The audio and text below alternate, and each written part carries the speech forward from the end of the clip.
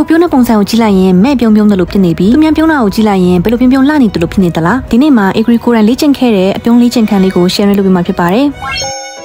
ဒီလိုထိတ်နှစ်ဖက်လုံးအကြီးအသေးညီညာတဲ့ခဲနံတစ်ချောင်းကိုယူပြီးတော့ဒီလိုကတ်ထားလိုက်ပါမယ်ပြီးရင်ပါဆက်အစွန်ပိုင်းကိုအပေါ်တက်အောင်အားထည့်ထားလိုက်ပါမယ်အောက်သွားကိုမပေါ်စေနဲ့နော်ပြုံးတဲ့လိုင်းလေးကလည်းခဲရနဲ့တညီတဲ့ဖြစ်ရပါမယ်နော်ဒီလိုပုံစံလေးနဲ့တရက်ကို9မိနစ်လောက်လေ့ကျင့်ပေးလိုက်တာနဲ့လူတကာကျွေစေတဲ့အပြုံးလေးကိုပိုင်ဆိုင်တော့ပါပြီနော်မှ န်ရှိမှကြည့်ပြီးတော့အဲဆိုတဲ့အတန်ကို9စက္ကန့်နဲ့အခောက်30လောက်လေ့ကျင့်ပေးလိုက်ပါမယ်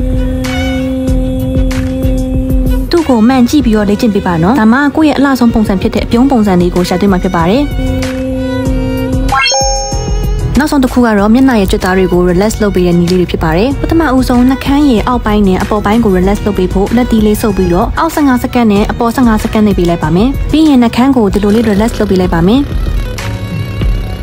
ဒီလိုလုပ်ပြီးတော့ရင်နှာခမ်းတစ်ဝိုက်ကပေါ့ပါသွားတယ်လို့ခံစားရပါလိမ့်မယ်။နောက်ဆုံးကတော့ဒီနားလေးကို relax လုပ်ပေးလိုက်ပါမယ်။လက်ညှိုးနဲ့လက်ခလဲကိုယူပြီးတော့အပြင်တစ်ဝိုက်15စက္ကန့်နဲ့အတွင်းတစ်ဝိုက်15စက္ကန့်ကိုနှိပ်ပေးလိုက်ပါမယ်။ဒါနဲ့တမျက်နှာလုံး relax လုပ်ပြီးတော့ပါပြီ။အခု equi လုပ်ပြသွားတဲ့လက်ကျင့်ခန်းတွေကိုအမြဲလေ့ကျင့်ပေးရင်မျက်နှာမှာရှိတဲ့ကြွသားတွေက memories ရတော့စေပြီးပြုံးလိုက်တိုင်း auto korea မင်းသမီးလိုအပြုံးလေးဖြစ်တော့မှာမို့ချစ်တို့လည်းစိတ်ဝင်စားကြရင်လိုက်ပြီးလေ့ကျင့်လာလိုက်တော့နော်။